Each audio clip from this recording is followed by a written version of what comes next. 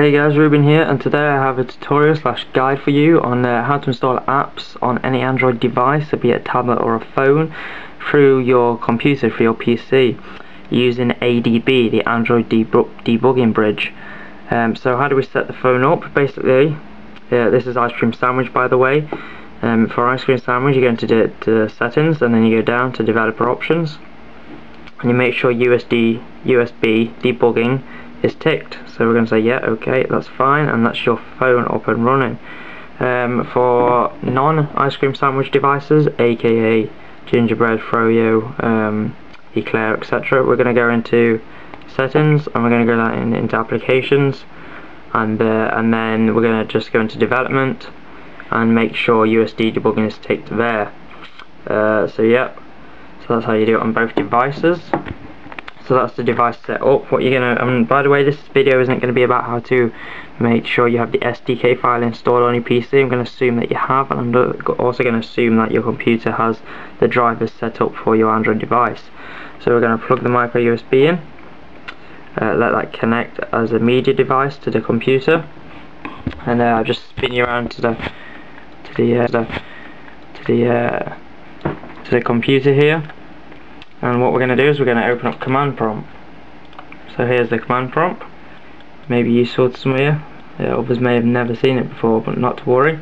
So we're going to type in first a CD and then uh, basically this is going to as you can see our root dictionary at the minute is uses Ruben. We'll get, we're going to want to change that. So we're going to type in C drive which is the name of our hard drive or the uh, letter assigned to it and um, what we want here is we want the Android SDK Windows and platform tools and we're gonna we want to get to this file ADB uh, application.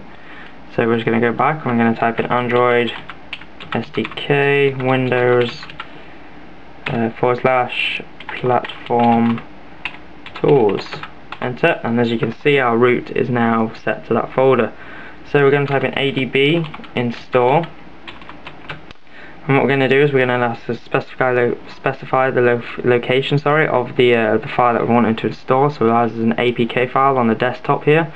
Uh, so we're just going to type in C drive users my name or your name, obviously it'll be your name, desktop, and then the name of the file. Now I recommend you right clicking on um, on the file. For some reason here it's seems to not be working. Um, you can right click on the file and you can press rename and then you can copy the name. But I don't know what's happening there so what I'm going to do is I'm going to just type in the name manually. Um, so bear with me here. It's a it's an app called Blingboard by the way.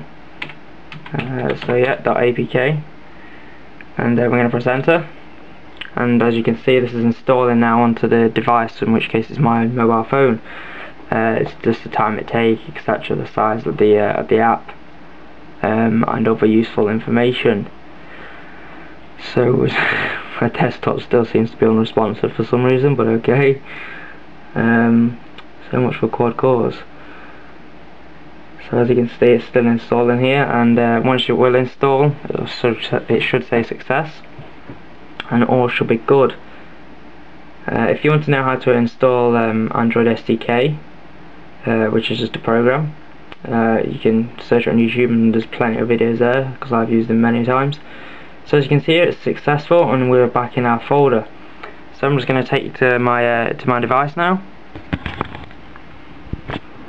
Okay guys, so we're back at the device and uh, and we're going to see if it has uh, if it has uh, if it has installed.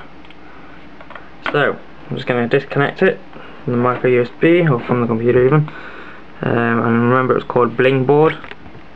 The camera up here a bit so you can see a bit better. And uh, and there we are. The app has now installed and it is fully working. Um,